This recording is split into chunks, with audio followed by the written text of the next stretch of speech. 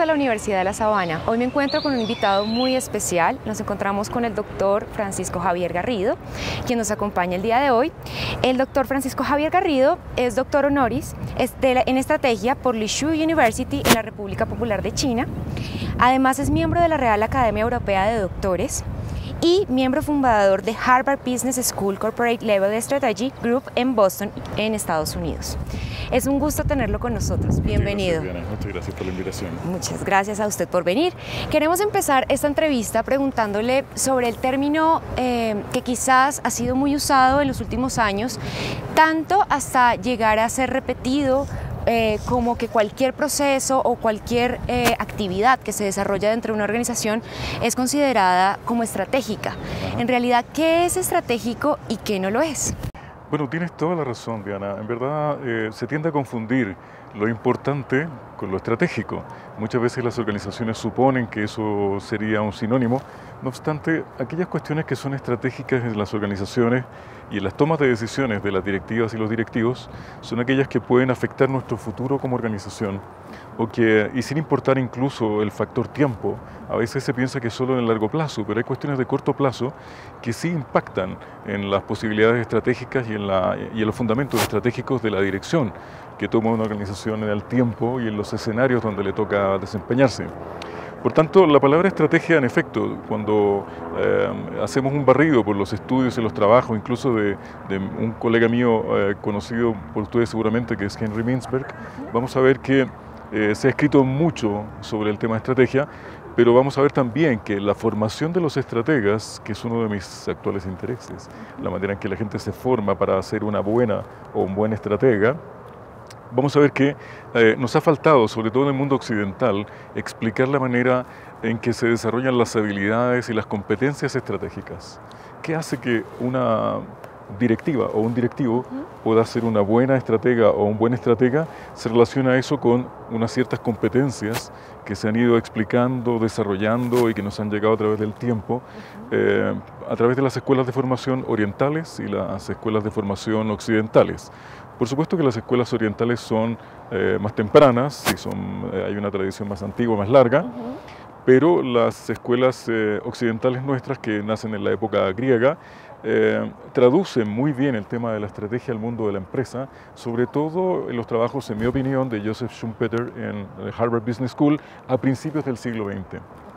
Eh, por tanto, vamos a ver que el mundo de la estrategia, que, proviene del campo militar, donde nace el concepto de estrategos o general de ejército, es un concepto que va mutando hacia el mundo de la empresa, en el mundo occidental, sobre todo de la mano de la escuela americana, que es una escuela de formación normalmente muy pragmática. Eh, así las cosas entonces se comienza a enseñar a principios del siglo XX, cuando también nacen las primeras business schools o escuelas de negocio en los Estados Unidos, los fundamentos de la estrategia que luego van mutando hacia la enseñanza de la planificación. Entonces, no solamente el concepto de estrategia es un concepto que está a veces mal entendido, sino es que a veces se confunde también en las propias escuelas de negocio eh, la enseñanza de la planificación con la enseñanza de la estrategia. Y en verdad son cosas completamente distintas. La estrategia requiere de un procedimiento y un proceso de saber pensar estratégicamente para luego planificar. Por eso es que uno de mis libros del año 2009 se llama Pienso, luego planifico. El puente de transición entre, entre la comunicación, la estrategia y la estrategia de toda la vida y el mundo del management y la administración es en realidad una forma de intersección entre estas dos disciplinas. Yo pienso que no debemos olvidar que tanto la administración como la comunicación son disciplinas de ciencias sociales y en tal sentido estas dos disciplinas tienen, en mi perspectiva, una intersección natural en el puente que las comunica que se llama estrategia. Es así que nos comenzamos a interesar por la estrategia en el mundo empresarial tempranamente en el siglo XX y cómo fue evolucionando el tema de la comunicación organizacional hacia el mundo de la comunicación estratégica hacia la mitad del siglo XX, fines de la Segunda Guerra Mundial y hasta el día de hoy. Es por eso, entre otras cosas, que tenemos tanto los MBAs, los Master of Business Administration y los Masters en Estrategia, que desarrollan a los directivos del mundo de la toma de decisión en el mundo de la estrategia, pero también tenemos los Masters o las maestrías en temas de comunicación estratégica, que buscan formar tienen la pretensión de formar nuestras directivas y directivos en temas de comunicación para que lleguen a ocupar cargos con habilidades, competencias y desempeños propios de unas buenas y unos buenos estrategas. Perfecto, y hablando de estrategia como esa posibilidad de lograr muchas cosas, eh, ¿cómo se debe entender la estrategia, se debe entender como un punto A en el presente a un punto B en el futuro para lograr eh, algo, qué tan lineal es la estrategia realmente y cómo se debe responder pues a, digamos, a los obstáculos que pueden encontrar las organizaciones en el camino. Bueno, eso que tú dices es muy interesante dado que en general se piensa a veces que la estrategia es lineal o que en cierta forma es rígida o que es un camino a seguir con cierta rigidez. No obstante, la estrategia en verdad es todo lo contrario a la linealidad y a la rigidez. La estrategia es por definición flexible, adaptable y por otra parte tiene por cierto relación con el momento presente de la organización y sus posibilidades en el futuro. Entonces, tal como tú comentabas, Diana, en el fondo, eh, cuando hablamos de estrategia estamos hablando en clave de futuro, en tiempo de futuro, pero basados en el momento presente de una organización que en estrategia llamamos el actor. Para nosotros entonces eh, la estrategia de hecho es un modelo de futuro, pero diseñado en el momento presente. Yo defino en mis trabajos, y en este libro del que vamos a hablar hoy, que se llama Estrategas, defino estrategia como un modelo de futuro, pero a valor presente. Ok, perfecto. Bueno, eh, y en términos, digamos, de modificaciones en esta estrategia según los obstáculos, eh, las, las, cosas que puedan ocurrir en el camino, eh, un buen estratega, ¿qué perfil debería tener? Bueno, el perfil esencial de toda estratega y de todo estratega, porque hombres y mujeres han aportado al desarrollo de la disciplina estratégica en la historia, es una persona que tenga intereses por eh, la trascendencia de una cierta idea, de una cierta organización eh, o el futuro de esa organización en el tiempo eh, y que sienta una sensibilidad por la anticipación a los fenómenos. además de eso, una, una habilidad básica y antropológica nuestra eh, no solamente en base a lo que es la anticipación, sino también a la imaginación. Hay un componente de imaginación en el visionar eh, una posibilidad futura. Y luego un componente de cooperación, dado de que las personas en verdad, si no trabajamos juntos por un objetivo en común, difícilmente vamos a lograr un cierto futuro. Eh, y aun cuando visionemos un cierto futuro, si no trabajamos en conjunto, todas las personas en una organización, no lograremos que ese futuro llegue al momento presente si no trabajamos hoy para que eso ocurra.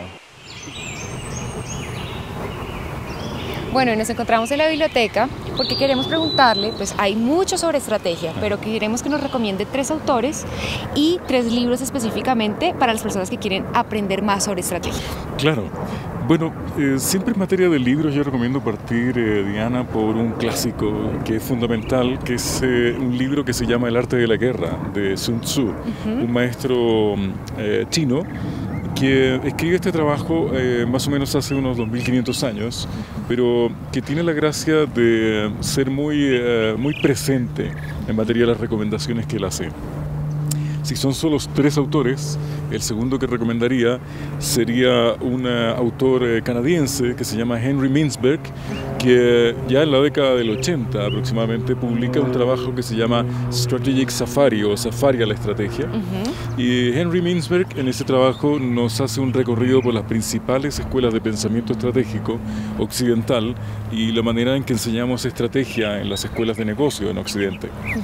Eh, y en último término, recomendaría a una colega ya muy actual, que es Jean Litka, que eh, tiene un trabajo acerca de design thinking eh, o diseño de pensamiento o modelamiento de pensamiento para tomar decisiones tanto innovadoras como estratégicas, eh, pensando en el momento presente pero con sentido de futuro.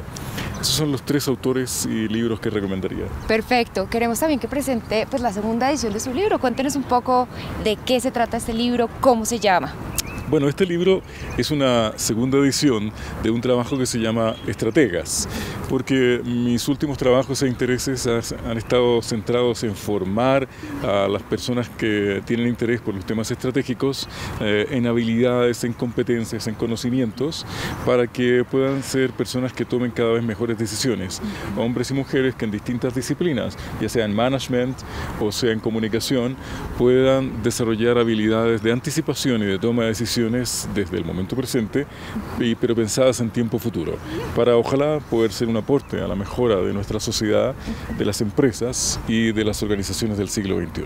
Bueno, nos encontramos en el restaurante Escuela con una panorámica de la Universidad de La Sabana para hacerle una pregunta. Respecto al tema de comunicación estratégica hemos hablado bastante, pero no hemos hablado sobre la comunicación estratégica en Latinoamérica particularmente. ¿Cómo funciona el tema de comunicación estratégica en Latinoamérica en su concepto? Y respecto al tema de los debates académicos que se están llevando a cabo, ¿hay coherencia o no hay coherencia con lo que las organizaciones requieren en este momento?